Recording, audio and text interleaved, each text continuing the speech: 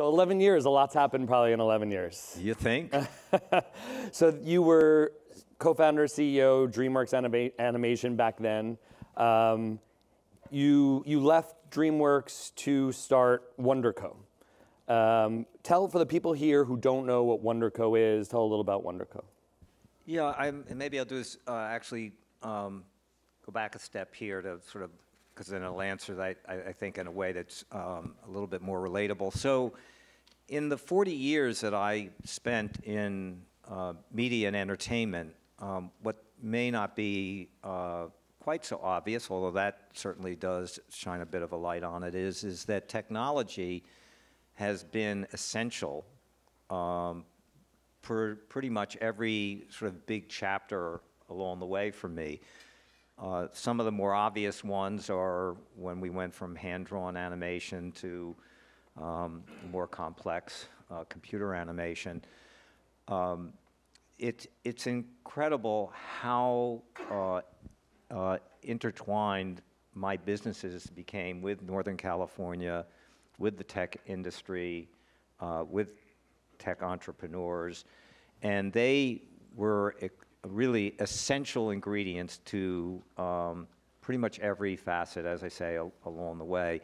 And I, I actually, uh, the original Shrek movie was made at our campus uh, on Redwood Shores uh, and Palo Alto. We had 800 artists and engineers there. Um, and so I think my exposure to that world uh, has sort of been over a, quite a long period of time. And when I was 23 years old and I um, was looking for uh, like a career path. I, I, was in New York and I'd been in politics and government, and uh, I asked myself, uh, I wanted uh, fortune and fame. and in 1974, if you wanted fortune and fame, there's only one place to go, it was Hollywood. Uh, and uh, got lucky enough to go and got some of each. Um, but when I sold DreamWorks, now about six years or so ago, um, I, I, had had such a, uh, a, a, great uh, experience of being involved with over 400 movies and over 40 animated and over 85 TV shows and five Broadway plays.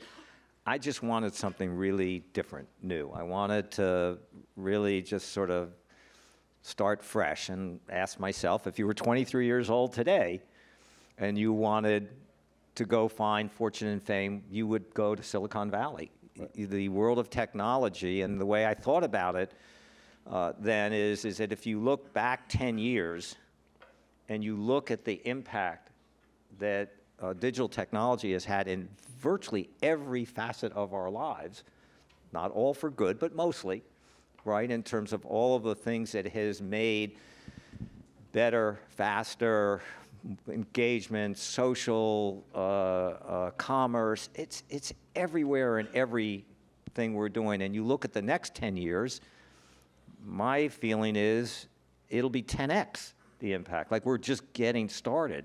The rate of innovation, the rate of, um, uh, of, of how we deploy digital technology in our, in our world is only going to be greater. And so for me, I want to be part of that. And that's what sent me there. So when you look across now verticals and industries, so right, Hollywood and, and media still, you're looking at technologies there, but WndrCo is looking broader. You have investments across other sectors. Um, what is the key ethos around WndrCo? Is it just purely technology? Is it looking at, again, digital transformation of all industries? How do you think about the investment? No, we've gotten pretty focused, um, really, I would say, into primarily two lanes, um, and and one has been uh, software as a service, and in particular, how that uh, can be used and deployed uh, uh by the consumer, the end user of that. So it may be for enterprise or for SMB, but it is, uh, uh, you know, the application of SaaS. Um, and, and, and most of our investments have been along those lines the other half of what we have done, and has been actually the more interesting and exciting for me, is that we've been in the buy and build and incubating, and almost all of that I know this won't come as a surprise to anybody in this room, has actually been about cybersecurity. So, like, what do I know about cyber? well, I have very smart partners um, and uh, uh, have learned a lot, still have a lot to learn. But to me, I, I have uh, found that as a place of great need and only going to grow uh, exponentially in the coming years. And it's a place where I feel like uh, I can do good while doing good.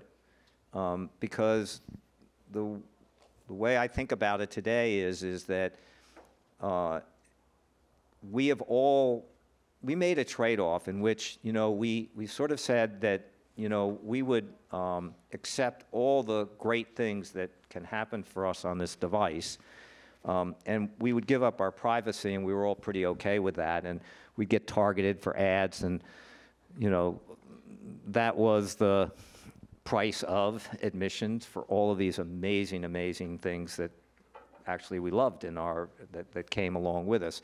What we didn't realize, and is now becoming very apparent, is we actually have traded away our safety uh, and our security. And not only ours, but our children, um, uh, our, our, our loved ones, and our parents. We've all become vulnerable. And a couple of just quick stats here, which is um, two years ago, burglary, theft from burglary was about $3.8 billion in the US. And digital theft was about 3.6 billion. By the end of this year, um, burglary has actually gone up to about 4 point, estimated it'll be about 4.2 billion, and digital theft is actually going to surpass 7 billion, and going like this. And so um, we all uh, have, um, if you if you if you are on a uh, your digital footprint uh, is going to become more and more vulnerable, and uh, if we don't protect it, it's kind of like getting in one of these beautiful new cars out there and not putting a seatbelt on. It just makes no sense. And yet, uh, there hasn't been a lot of investment and innovation in consumer cybersecurity, and that's where we have sort of um, kind of dug in deep and are So you have an investment in, in a company called Aura. Yeah. Uh, Hari was supposed to join us, I think, had uh, to, to stay on the East Coast. And Aura really looks at your digital footprint across all your devices, right? So from mobile to your desktop to your identity online, and really provides, I mean, you know, I know many people who have gone through identity theft online. It's a very difficult process. Aura helps people, even in a white glove sort of way, to be able to navigate everything from the credit bureaus uh, all the way through their identity online. Yeah, so it literally is, you know, um, and when we looked at the, at the problem and the solutions, it's not that there are no solutions. Actually, there's hundreds and hundreds of them. And I'm, I'm a, you know, I'm a digital idiot. Um, how am I to know which ones? Do I need antivirus? You know, do I need, you know, credit card masking? Do I, like, I, I don't, I mean, it's just there's, and if you did know which ones to, to choose, it costs you about $200 a month to put them all together, and every single one, you'd end up with 10 different services. You'd actually have, you know, 10 different accounts, and it's just impractical. And so, uh, what we've done is we bought seven companies, uh, did a roll-up of them, integrated them together, spent now two years building all kinds of features and functions. And so one place, one time for $15, $18 a month, you actually can get a very comprehensive um, uh, uh, family plan, because it's very much focused at uh, family, you know, having parental controls and the, the, the sort of good versions of knowing where uh, uh, people are and what they're doing, your kids in particular. And believe it or not, our parents are in fact the most vulnerable. Most of the digital theft is phishing that's going on against people that are 60 years and older. Right. Um, so WndrCo uh, invested in Quibi. I know that's one company we were talking about. Um, just for those who, who, you know, timing coming into the pandemic, you know, just talk a little about, I mean, taking your entertainment experience, you know, launching a new platform, um, the learnings from that. Um, Yeah, I mean, uh, you know, Quibi was a. Um, I thought I had, I'd, I had dropped the mic on media and entertainment, and then just made the mistake of one more shot. Um, and it was a moonshot. It was a giant idea, um, one that was both uh, driven by a creative uh, ambition and goal, which was to create super high quality um, uh, content in uh, bite size. If you you know think about chapters of you know super high quality stuff that you could watch on your phone on the go. It was literally designed for that single purpose, um, and uh, you know the the content that was created. I don't know how many people in this room ever got to watch any of it, but it was actually that part actually nailed it. They, they the creative community in Hollywood did an exceptional job and made some fantastic content. Unfortunately, we never had product market fit. And um, uh, because of the structure of it and the amount of content that we were turning out on a, on a very rapid calendar, it's one, it was literally a, an everything or nothing. And, uh, you know, for me, I, I found the failure of Quibi to be humbling. I didn't find it to be humiliating um, because I felt like we actually took a great shot at something. Um, and I've grown up uh, uh, in a world in which there's a very clear equation um, that I'd share with you, which has been true of every single content that I've ever been involved with, every business I've ever been involved with, which is, and actually Barry Diller was the person who taught me this. He was probably my first and maybe my most influential mentor in my career. He's the one that hired me when I was 23. Um, if you do things that are unique and original, they actually equal risky. And if you do things that are risky, they actually equal, at least sometimes, failure. And so if you do not have built into the equation, if failure, failure cannot be fatal. Because if failure is fatal, you won't take risks. And if you don't take risks, you actually won't do things that are unique and original. And one of the many qualities that I think is unique and I quite like about Silicon Valley culturally is that it, it understands there is failure in what you do. And failure is not a, you know, a, a, a black mark. It's not an A. It's not, um, it's not humiliating. Um, in Hollywood, it is, and always has been. And what I can tell you, you know, for those who have never been on the receiving end of it, which is when you make something and you put yourself out there and it's not any good, and I have a very, very, very long list of things that were not that good, it's brutal. You know, you get, you get beat up, you know, you, you get taken to, and, and by the way, whatever the beating is I take for movie stars, it's really rough, right? And we've all seen the careers of ups and downs um, I was watching last night, I guess there's a new series coming on with Sly Stallone. I've known Sly for his entire career, and I've watched him go through this amazing, right. amazing ups and downs, and the emotional, you know, wear and tear that that puts on you is, is really extraordinary. Silicon Valley actually handled at least that in a better way. The last thing I will say is, is that, um, uh, you know, Quibi was, uh, you know, again, because of the size and the scale of it, uh, financially was just a gigantic, gigantic undertaking. And I, it's the first time ever for me that I lost money for people who were backing me. And that I actually did find humiliating. Like I had a really, really hard time uh, accepting, you know, to people who put up money, who believed in the idea, believed in me, and I disappointed them by losing the money. And so the one thing I ended up feeling, you know, working super hard is the moment it was clear to me Quibi wasn't going to work, and that was around 90 days out, maybe 60, 90 days out. I did everything I could to shut the thing down as fast as I could and ended up returning $600 million to our investors, which I think is kind of its failure is unprecedented, but also the return of 600 million is equally unprecedented.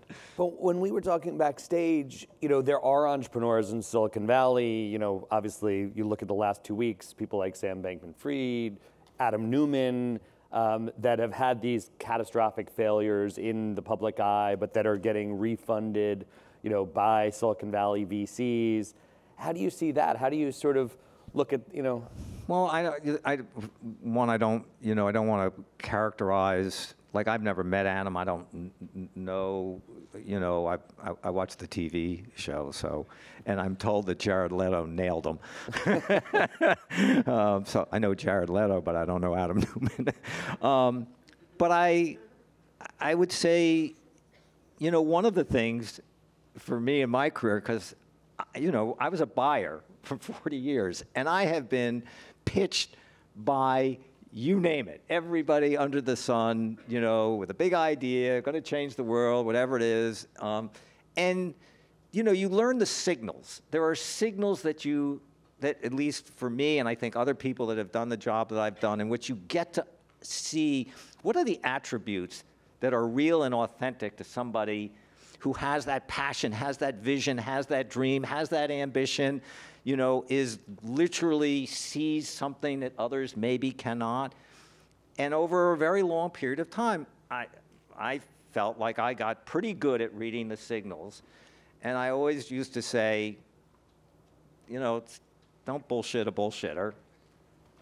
And Sam Bankman Fried is a friggin' fraud. I'm sorry. I've, I mean, this is, he's a hustler, he's a salesman. And you know, I, I, he's a promoter, and I, I just, um, you know, people who I hold in really high regard, you know, ended up buying into it, and and you know, I'm surprised. Yeah. Um, and we only have a couple more minutes. I wanted to talk about, we, we were talking at dinner about the midterms, and uh, people came out, and we, we said, was there a single issue? And I think you said people came out in support of democracy. Um, you know, talk a little about that. It was such an important time. You know, we didn't know what, sitting here what the outcome would have been. Um, you're a big supporter. You, you, know, talk a little about where you think the world is today, how we move forward. So I, you know, I, have been involved again. It's my earliest part of my career was in politics and government. And I've always maintained being super active in it. I believe I am lucky to live in a country um, that that has a rule of law, that has uh, the freedoms that are afforded us, that have the capitalism that you know has benefited so so many of us. That um, uh, the enterprise of democracy is something I I appreciate deeply, and I care about deeply, and um, I have found what has gone on in these last few years, the sort of tribalism, so disconcerting to me uh, and, and fearful for me. I will, uh, surprise, I, I, I think I have been over the decades among the largest, most consistent uh, supporters and fundraisers, fundraisers on behalf of uh, the Democrats, certainly the presidentials in it, but I will tell you, I don't believe anybody gave more money to support Liz Cheney than I did. And I don't agree with her about anything other than her literally being, to me, an American hero. She's a patriot. And what she did to defend what we all take maybe for granted or shouldn't, I, I hold her in the highest regard for that. And, and so I, I actually think that of all the things that have been that I think the American public is dealing with, whether it's inflation or gas prices or uh, uh, you know Ukraine, uh, Roe v. Wade. The, I mean, the, the, the, the, things that were facing us as I think uh, as voters in this last go round were you know as high as they've ever been. The stakes were as high, and yet I don't know how you explain this outcome more than the fact that people came to support democracy. Um, and so it's the only explanation of why there wasn't just a tidal wave of red. It's the only one. You, I don't know how you can explain that every single election denier who was up for office, particularly in the uh, uh, uh, you know, secretaries of state and the places that would actually impact the legitimacy of voting and, and, and the recognition of it, they all lost. Every single one of them. Red state, blue state, purple state, didn't matter. I think voters said, wait a minute, you- this is a line we're not going to cross here. I hope. I mean, that's my optimism So, about quick it. prediction: two years from now, Joe Biden will be running against Donald Trump. Um, like, you laugh, but I'll, anybody wants to go outside, well, I'm laying bets on that right now. it is, you know, there's that line, it is what it is. um, and, uh, you know, Trump will announce tomorrow he will go out and do what he does incredibly effectively, which is he will annihilate every single competitor. Um, I- my bet is um, DeSantis doesn't actually enter the race. He'll play long ball here and understand that he can take the risk of going head to head with Trump now or wait and have a cakewalk in 2028. He's 44 years old. I know if I were advising him, I would just say, go out and build your bona fides and support Republican candidates, and all the things that he could do over these next four years to just put himself into a, you know, a certain uh, position for 2028. But so Trump will, you know, I think annihilate these people. He will, he will win for this. You just do the math on it, and the math is is that um, you have uh, 70 percent of the 45% that is the Republican Party that are hardcore Donald Trump MAGA. Not beating it. There's, you cannot defeat that. There is no one, that hardcore group of his, which, you know, he continues to just, you know, fuel in a way, I think they're impregnable, and I don't think you can do it. And on the Biden side of it, um, unfortunately, the Democrats have done a miserable job of creating a next generation group of people. And, and whether you think, you know, uh, Grandpa Joe uh, uh, is the right one or not, he is the one who can and will beat Donald Trump. He did it before, he will do it again. I will tell you, um, it has been uh, way over exaggerated. Uh, uh, the issues around his clarity, his uh, acuity, his um, uh, attention, his ability to command uh, facts and circumstances. I'm, I'm, I, I have spent time with him, and I'm telling you, he has his game together. Physically, he's 80 years old, and he does not move the way today that he did, which is be true of me when I'm 80 also, just to be really clear in this. But mentally, he is 100% on his game, and I believe he will run, and I believe he will actually um, uh, will have a, win in- yeah. will, will have a repeat of what we had two years ago. great. Well, we can go on for forever. There's your mic drop. Jeffrey, thank you. Thank you very much.